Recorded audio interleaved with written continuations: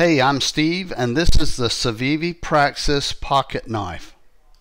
This is a pocket knife that I'm excited to show you.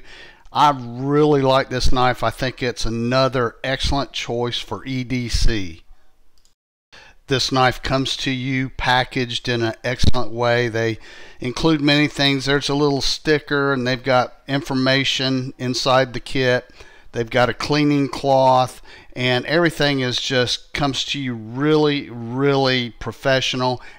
Let me give you some close-ups of the knife. Of course it comes with a pocket clip. The deep carry pocket clip is reversible. The handle scales are G10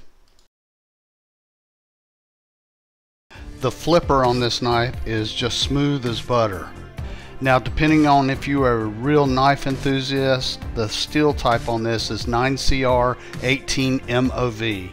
The blade of course is black stonewashed.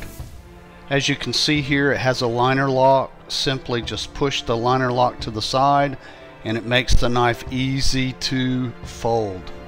Once again I like the flipper action on this knife, very smooth.